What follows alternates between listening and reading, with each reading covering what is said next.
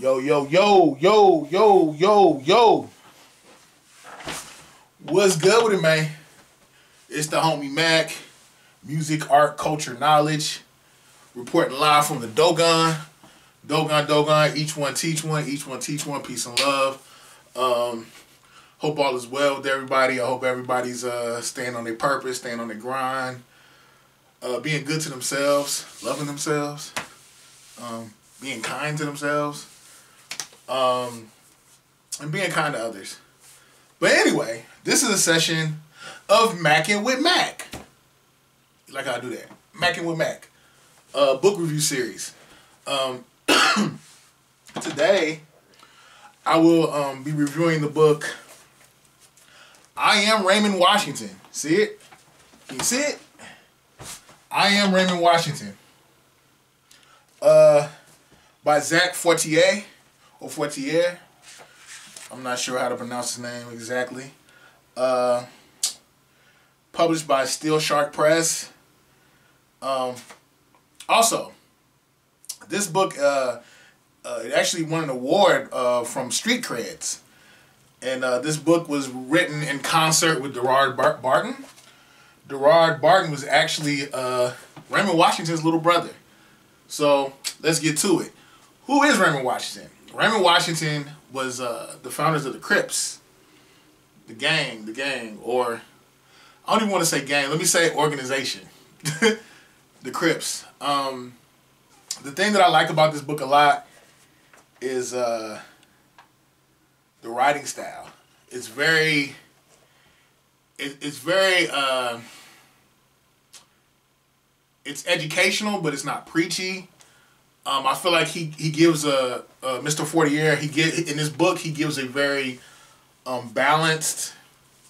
He gives a very balanced and objective view of Raymond Washington. Uh, doesn't paint him out to be a saint, but doesn't paint him out to be a demon either. He weighs. He puts the good next to the bad. He juxtaposes the two together, and, and lets you draw the conclusion. Um, this book, a lot, a lot of the things in this book. I mean, if you know me, you know uh, I, I lived in California, spent some time in California. I frequent California a lot, and um, you know, being someone who who consistently visits California, I always consider California like my playground. I just like, I like to go. Uh, but anyway, um, you know, as much as I've visited California, I get I have been exposed to the ethos or the just the culture uh, that is California, um, and it doesn't tell the the the, the history of, of uh, organizations, specifically the Crips. So a lot of things in this book I was already kind of introduced to, but I feel like this book kind of went in greater detail. Um, but yeah, this book starts off uh, pretty much documenting Raymond Washington's adolescence. Uh, it starts off in the Rots Wyatts. Um, no, Watts. I said Rots Wyatts. It starts off in the Watts riots. Uh, this took place like in the '60s, and it just talks about how uh, Raymond, uh, you know, he got hit, uh, went went to a store. Mind you, riots, haywire, a lot of looting, a lot of stuff was going on. I guess he went to a sporting goods store, uh, took some uh, basketballs, took different uh, sports equipment, and uh, Gerard, you know, his little brother Gerard, he he he looked at Raymond Washington as being like this superhero. Like whatever he wanted to will to happen, he could will it into existence. Um, the the thing that I thought was really interesting was I never knew that Raymond Washington wanted to be a part of another organization called the Avenues. The Avenues was fund, uh, founded by uh, none other than Craig Munson. Craig Munson was a bodybuilder, a weightlifter. Um, yeah, the the Avenues were essentially the precursor to the Crips. But yeah, so um, mind you, at this time, Raymond's like 15, 16 years old. He's a student at Fremont High School um, the what was it the uh, the avenue and I know I know my homies from Cali are watching. I'm not big on streets and the geography of everything, but I can give y'all a broad a broad understanding of what's going on um, as far as geography. Uh, the av- the avenues were like on 84th and Hooper. I'm not sure exactly where. This is on the east side of Los Angeles. Uh, trying to think. Uh, Raymond uh, essentially wanted to be again wanted to be down with the avenues. Uh, Craig Munson and his homies were not feeling it, and uh, they rejected Raymond. So again, Raymond's like 15, 16 years old. Him and a, uh, another young man by the name of Craig Craddock started the Crips. Now, a lot of times people, the, the way a lot of times this whole thing is pontificated or explained is just like Raymond started the Crips alongside Tookie Williams. Tookie Williams was not a Crip co-founder. Tookie Williams essentially was uh, an ambassador or someone who uh, started an extension of the Crips. He started Raymond Washington and Craig Craddock, Craddock were on the east side of LA. Raymond Washington um, was pretty much petitioned or tasked to uh, set the West Side Crips in motion. So he, he joined a machine that was already um, in movement. So no, Tookie was not a founder. I think, I think a lot of people believe that. But anyway, um, yeah, so uh, let me get back on track.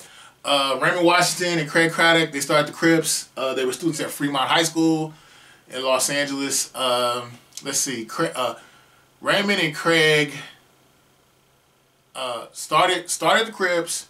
They used to they they would have meetings on the bleachers at Fremont High School. They would meet at different times.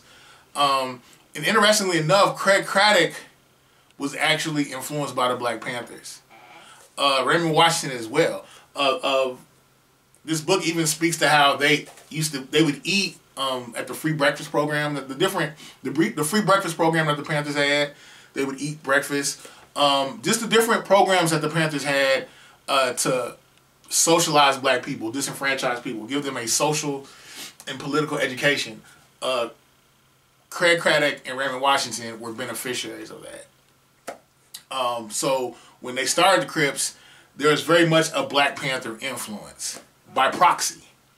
Um, now we know Bunchy Carter, who was a very prominent Black Panther in LA, he was murdered. We know about COINTELPRO. We know how uh, the Black Panthers were systemically disassembled. And this left a void or a vacuum. Um, and it's like, uh, you know, a lot of the, the people, a lot of the young black men and, and black women during that time, they were trying to find something to attach to. And I just think it was like a perfect storm uh, for the Crips to insert themselves and um, make it do what it do. Um, interestingly enough, uh, Raymond Washington was a fighter. They said that, that uh, he had a gym in his backyard with like boxing with uh with weights, uh, uh what is it, boxing bags. Um, it was just like he had like a, a gladiator training school in his backyard. You know, again, he was big on weightlifting, and his whole thing was, I want to be so so much of a specimen, specimen, and so strong. I want to be able to knock you out. I don't want to do this whole back and forth. I want to be so strong where I can just lay you out. And the thing that I thought I thought was really interesting, um, I realize now the the thing that was essentially the the I guess the the, the what's the word I'm looking for? Um, the impetus or like the yeah, the, the thing that served as the impetus or motivation for a lot of the Crips to be the best Crip they could be in their Cripping was uh, the competition amongst one another. Like Raymond Washington, um, he was essentially just trying to be, I don't want to say he was trying to be Craig Munson, but he was influenced by Craig Munson. Tookie was influenced by Craig Munson. And um, later on, Monster Kody, you know Monster Kody, uh, he was trying to imitate Tookie and, and Raymond. So there was this peer pressure to just go hard with your cripping and be as solid and solidified as you could be.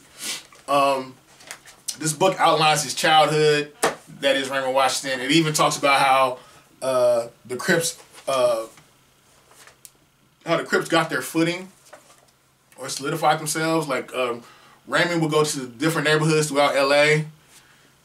Now, mind you, Raymond was a specimen. A, a, specimen. He lifted weights. He was very disciplined, and um, and he would. I mean, he liked to fight. He was a fighter, so he would go to different neighborhoods, and um, he'd be like, "Look, um, we gonna fight. I, I want to fight the leader of your gang, if I beat his ass, you have to capitulate and become Crips. So they have these one-on-one fights, and Raymond would get the best of them, and then that whole gang had to become a Crip set. They became Crips. They were absorbed. They were. I'm wait. I don't. They, they didn't even have sets at that time. This was before the formulation of sets. It was more. It was more so, East Side Crips, West Side Crips. Geography made the distinction, but there were there were no like eight Trey gangsters or Rolling Sixties or uh, Four Trey gangsters or uh, you know Ho- Hoovers before they became criminals. I know some of the Hoover, I think Five Deuce Hoover is still, still Crip, but the point I'm trying to make is um, these these organizations um, there were no sets. It was just one foundation, Cripping. That's what everything was. We were, we were Crips. It wasn't there was no individual individualized social phenomenon with the sets. But anyway, um, yeah. So as the as the Crips became more assertive and built up their foundation, um, it got to the point where Raymond and Raymond and Tookie would just go different places and they say, "Hey, is it Crip or what?" Some people would just they would concede, "Okay, we're gonna be Crips."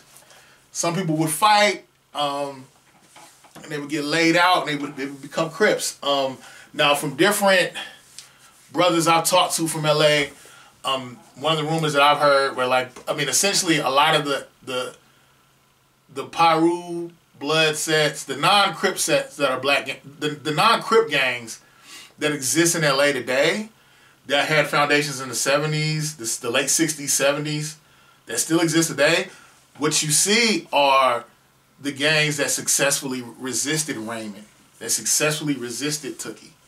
Um, like, for example, I want to say uh, Tookie went to Athens Park. I can't remember the name of the brother that laid him out but he, he came up as a cripple what? Brother uh, from Athens Park was said pretty much was like, no, nah, I'm not with it. Laid him out in the middle of Athens Park. Uh, correct me if I'm wrong, but I've heard this from numerous sources.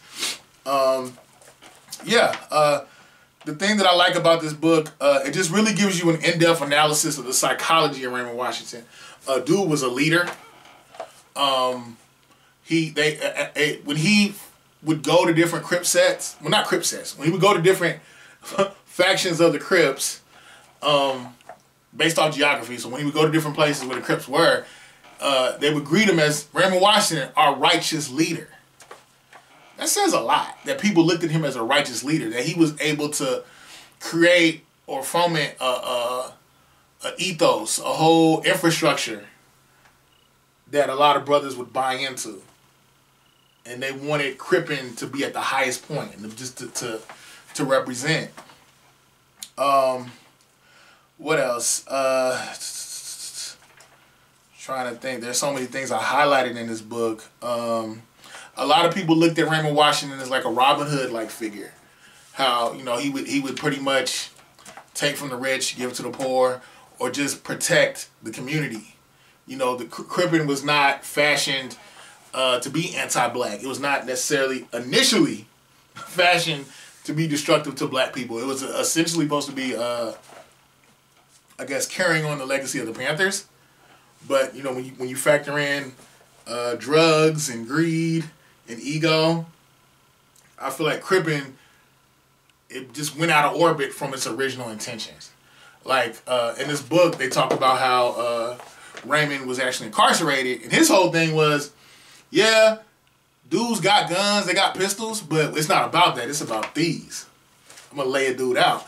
And he didn't like the use of guns, but when he came out of prison, he noticed like, dang, like this cripping is is totally evolved into something that I didn't intend for it to be. You know, drug trade got in got you know the the, the drug trade became a, a dynamic, and there was more violence as far as firearms. Raymond didn't intend for it to be that uh, to become that. So I guess in some ways, in his mind, it devolved, not evolved, but devolved from its devolved from its original purpose. Um, the thing that I respect about Raymond is uh, he he was able to instill a sense of self worth and confidence in people. you know, like he got people to, to, to buy into his vision um, a lot of times it was by force, but a lot of times it was also by persuasion. and uh, him him just I think him being familiar with human psychology and um, just how to motivate people. Um, I think one thing that was interesting, I think it's chapter yeah chapter eleven. Raymond goes to prison. It talks about how when he went to prison, how he came in cripping, and you had the Black Guerrilla family that was already there. You had the Aryan Brotherhood, uh, Mexican Mafia, and even in that hostile place, um, Raymond was able to recruit new Crips. I mean, Raymond from um, I'm trying to remember if, the, if it's in the book or someone told me this. Raymond actually got shanked while he was in prison, but he was able to to solidify a presence, and they and a lot of Crips were made in prison. I mean, he was beefing with the BGF, Black Guerrilla Family. Uh, a member of the Black a member of the Black Guerrilla Family actually killed Huey Newton. Uh, and and Raymond, and just that's a testament to his will and his strength that he was able to navigate through all that and still do his thing. Um, yeah, it actually was in this book. Hold up. Raymond got jumped by the Black Guerrilla family in Tracy and was stabbed in an altercation that took place. Raymond was reported to have gone crazy and responded by terrorizing his adversaries. Harrington continued, as soon as Raymond arrived at Tracy prison, there was friction between the North, the Northern and Southern blacks. Raymond was a very strong leader, daring and persistent. I remember one day we were all in the softball field in Tracy, and the Black family, Black Guerrilla family was out to get Raymond. But he didn't care. He stood there and recruited Crips right there in the yard in full view of the Black Guerrilla family. Do you know how much courage and persuasiveness it would take to do that? Um, but yeah, a lot of Crips were made in prison. Uh, one thing I like about this book, it, it pretty much debunks a lot of myths. I'm going to read, read some of them. Okay. The Crips started out as the Baby Avenue Cribs. False. The Crips gained the name. The Crips gained the name the Crips after a senior gang member was shot in the leg and later always walked with a limp. False.